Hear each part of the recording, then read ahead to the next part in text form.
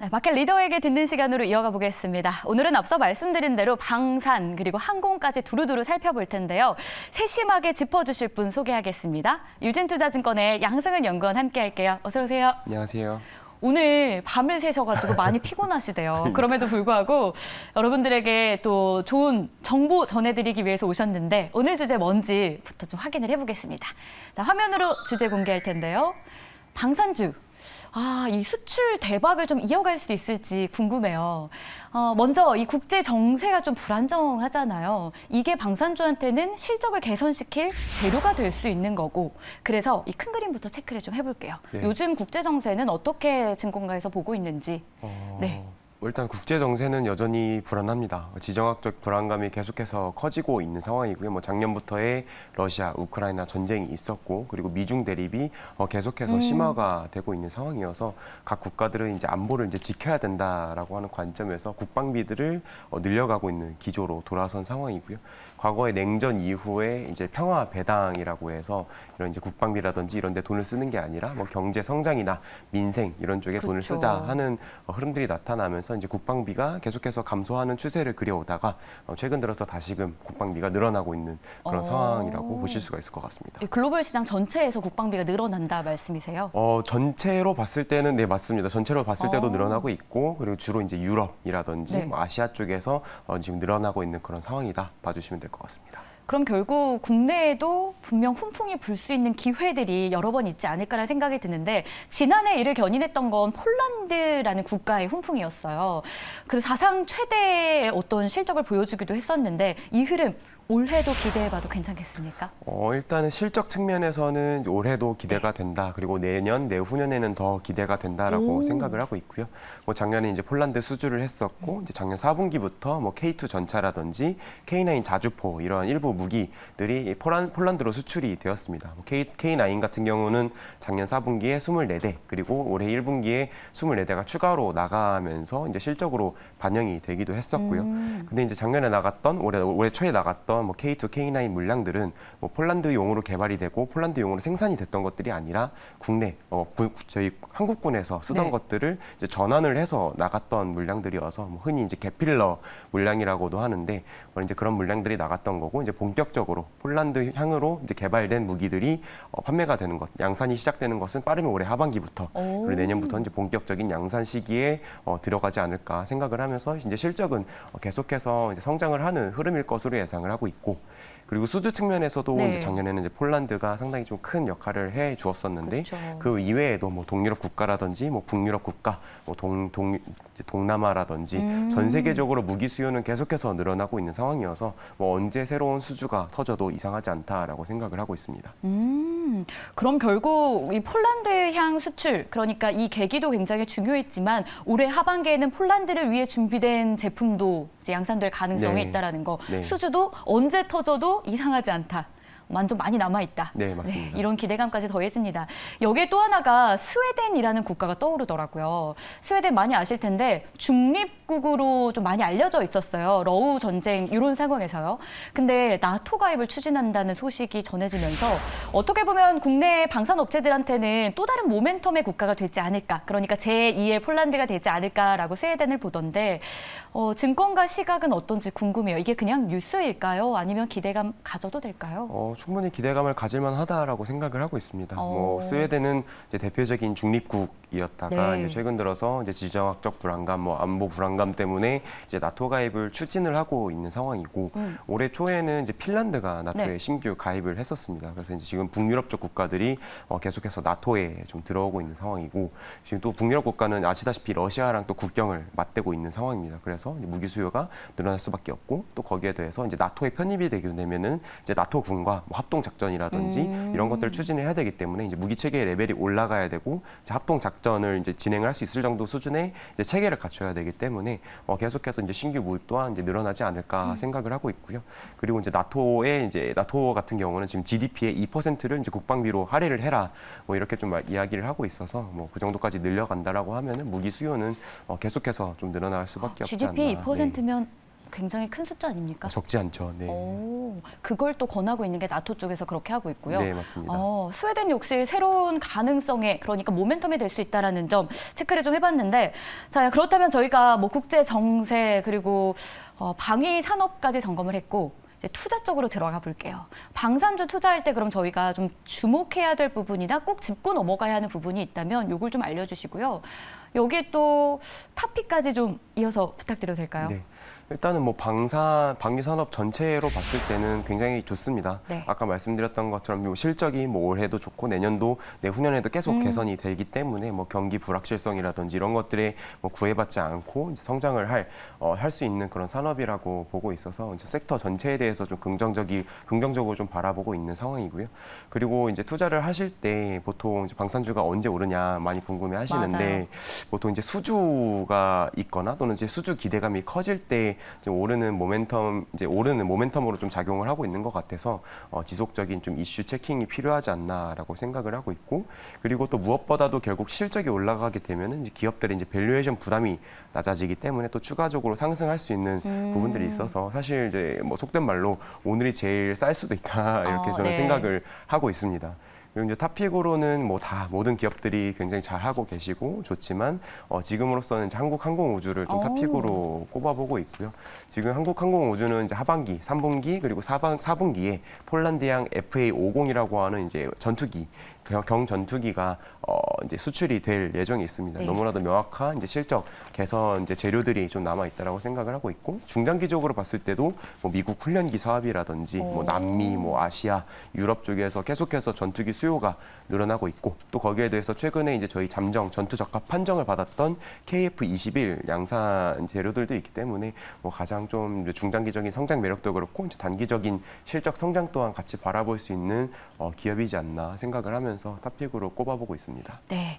방위 산업은 다른 섹터와는 다르게 이 경기 불확실성에 대한 영향을 크게 받지 않고 오히려 수주 모멘텀을 잘 체크하자. 수주는 그리고 이제 많이 남아 있고 실적도 올해, 내년, 내후년까지 줄줄이 잘 갈 가능성이 높다라는 점 기억해 보겠습니다. 그리고 한국항공 우주까지 탑픽으로 체크해 봤고요.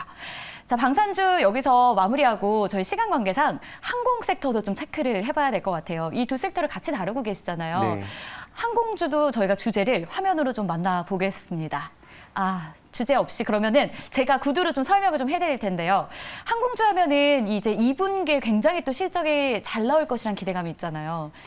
어, 지금 2분기 같은 경우 사실 이제 계절적인 비수기이기 때문에 이제 네. 어? 실적은 어, 저희가 1분기 때 상당히 좀 surprise를 네. 보여줬었는데 이제 그거보다는 어, 조금 이제 감익이 될 수밖에 없는 시기입니다. 뭐 전통적으로 계절성 때문에 항상 그래 왔었고요. 그럼에도 최근에 뭐 수요도 굉장히 뭐 꾸준히 어, 견조한 흐름들을 보여주고 있고 그리고 무엇보다 티켓 가격이 굉장히 비싼 상황입니다. 음. 이제 그런 것들을 고려를 하면은 이제 과거처럼 보통 2분기에 이제 적자를 네. 어, 내기도 했었는데 올해는 그래도 최소한 적자는 좀 면하지. 않을까 생각을 하고 음. 있고요. 3분기 때 성수기 가면서 다시금 좀 surprise가 나오지 않을까 헷갈렸어요. 맞아. 3분기 여름 성수기 네. 앞두고 있는 상황이고 봄부터 뭐 슬금슬금 공항은 많이 이용하지만 항공주가 좀 주춤하는 상황에서 또 대표적으로 항공주 하면은 뭐 대한항공, 아시아나 저희가 떠올리는데 이 두 기업의 합병이 순탄치가 않습니다. 이것도 좀 체크를 해보고 싶어요. 어, 네. 네, 유럽, 미국 다 지금 못하게 하는 네. 그런 분위기가 연출되고 있는데 이 배경이 뭘까요? 왜 그러는 거예요?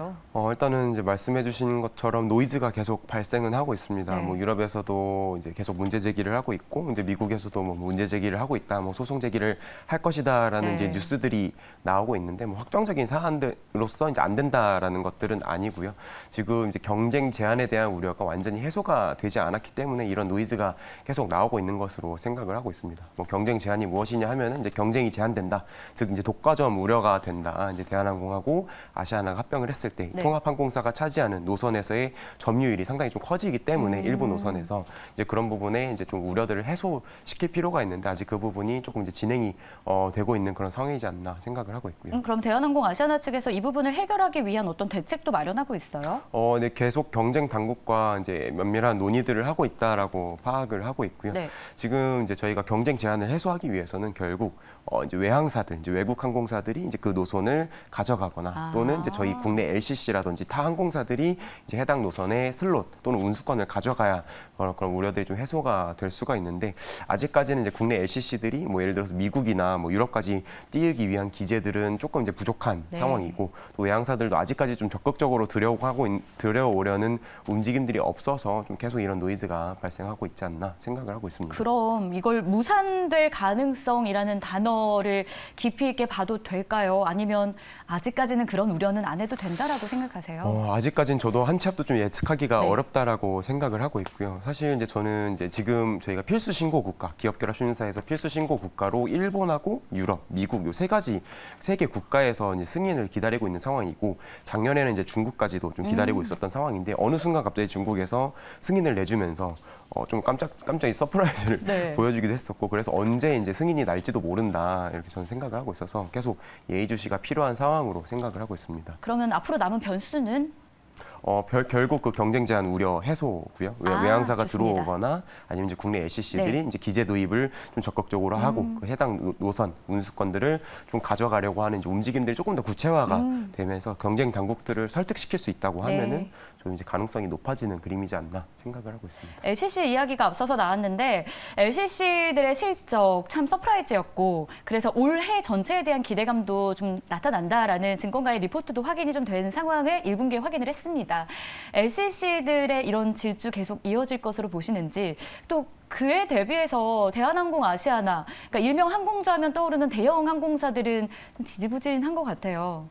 어떻게 예측하면 좋을까요? 일단은 저는 전반적으로 항공 업종에 대해서 긍정적인 시각을 유지를 오. 하고 있고요. 뭐 역대급 실적을 올해 계속해서 좀 내지 않을까 예상을 하고 있습니다. 네. 지금 이제 여름 휴가 뭐 계획하고 계시는 분들, 뭐 이제 항공권 예약하려고 찾아보시는 분들 이제 느끼실 수도 있지만 비행기 가격이 여전히 비싼 뭐 상황이고요. 그리고 자리도 없더라고요. 자리도 없고요. 음. 지금 뭐 추석 연휴라든지 벌써 매진된 표들이 굉장히 많고 그리고 저희가 이제 자, 2019년 기준으로 인천공항을 통해서 출국했던 내국인 숫자가 2천만 명 정도였었는데 작년부터 현재까지 아직 천만 명밖에 못 나가신 오. 상황입니다. 그래서 아직 다한 한 번도 여행을 못 가신 분들이 아직 좀 많이 남아 있는 상황이어서 이제 수요도 계속 좋을 거고 운임도 좋고 그리고 비행기 도입도 계속 좀 지지부진한 상황이기 때문에 뭐 LCC뿐만 아니라 FSC 이제 대한 대형 항공사들도 좀 지속적인 이제 실적 강세 흐름을 기대를 해볼 수가 있을 것 같고요.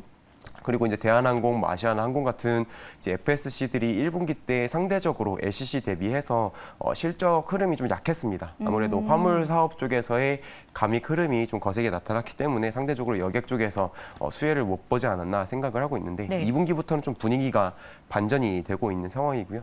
2분기 때부터 이제 FSC들이 이제 본격적으로 공급을 늘려가고 있는 상황이고 유럽 쪽이랑 그리고 미주 쪽에서 이제 계절적 성수기가 2분기부터 도래를 하기 시작합니다. 네. 그래서 이제 이런 미 주, 유- 유럽 쪽 노선들 어, 탑승 호조가 이어짐에 따라서 이제 FSC도 충분히 어, 여객 서- 여객 쪽에서의 실적 성장 좀 수혜를 볼 수 있지 않을까 이렇게 생각을 하고 있습니다. 어, 그러면은 화물 매출이 감소하는 건 언제쯤부터 개선될까요? 그러니까 네. 여객이 상쇄시키는 거 말고 네. 화물 쪽만 보면 네. 아무래도 이 코로나 한참 심각할 시기에 이 부분이 실적 전체를 좀 견인하기도 했었잖아요. 네. 기대감 이제는 안 가져야 되는 거예요. 어, 사실 저는 이제 화물 쪽이 그동안 이제 많은 이제 돈을 벌어 다 주긴 음. 했었는데 그건 일시적인 일회성인 일회성이 상당히 좀 크다라고 어. 생각을 하고 있고 오히려 이제 지금 이렇게 계속해서 감익이 나타나고 있는 네. 거는 결국 정상화로 가고 있는 가- 과정의 하나다라고 생각을 하고 있습니다. 그래서 이제 뭐 화물 쪽에서 감익 폭은 뭐 1분기 때 상당히 좀 크게 나타났었고 근데 2, 분기 3분기도 좀 지속이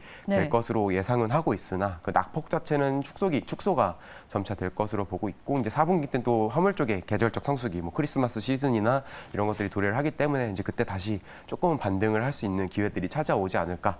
결국은 이제 여객 쪽에서 빨리 돌아와서 이 화물 쪽의 음. 감익을 상쇄시켜 주는 게 어, 핵심이다 생각을 하고 있습니다. 네, 그렇다면 좀 실적이 증명된 LCC냐 아니면 향후 전망 긍정적으로 나오는 뭐 FSC냐 어느 쪽이 더 유효하다고 보십니까? 투자 측면에서. 어, 일단은 둘 다 사실 좋은데 네. 일단 탑픽으로는 대한항공을 말씀을 오. 드리고 있고요. 뭐 네. LCC 대비해서 주가 흐름이 상당히 좀 지지부진했었습니다. 음. 말씀하셨던 뭐 화물 쪽에서의 영향들도 있고 뭐 여객 쪽에서 상, 이제 LCC 대비해서 이제 회복하는 것들이 좀 늦게 나타났었기 때문에 이제 상대적으로 좀 소외를 어, 받았었던 걸로 이제 파악을 하고 있는데 여전히 티켓값도 비싸고 그리고 특히 이제 또 비즈니스 클래스, 이제 네. 프리미엄 클래스의 수요도 호조고 그래서 이제 운임 그리고 수요도 상당히 좀 견조하기 때문에 이제 3분기 때 사상 최대 여객 매출을 좀 기대를 해봐도 되지 않을까 생각을 하면서 이제 대한항공 탑픽으로 말씀을 드리고 있고요. 음. LCC 중에서는 이제 뭐 진에어, 제주항공, 뭐 TA항공 다 네. 잘하고 계시지만 상대적으로 진에어가 현재 이 회복기에서의 좀 가장 효과적인 전략들을 어, 취하고 있지 않나 생각을 하면서 LCC 중에서는 이제 최선으로 진에어를 말씀을 드리고 어, 있습니다.